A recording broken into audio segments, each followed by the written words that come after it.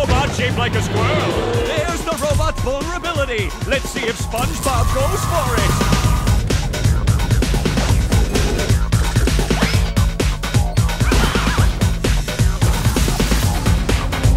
Run! Did someone call?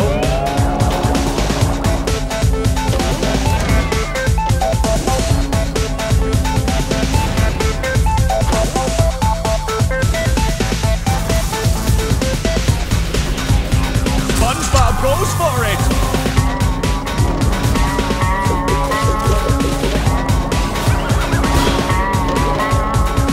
SpongeBob has an opportunity here!